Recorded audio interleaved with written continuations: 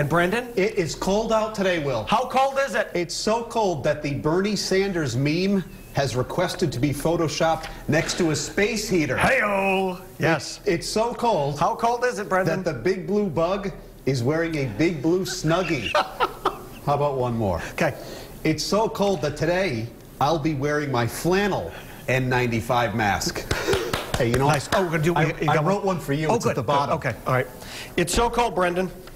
How cold is it, Will? It's so cold that I conveniently forgot to empty the dishwasher at home just to be in hot water with my wife. Hey-oh. There we go. That's how cold it is outside. Brendan was up all And, night writing stuff. You know, last but not least, it's so cold that I'm grateful for the lukewarm reception to those jokes. So thank you very much.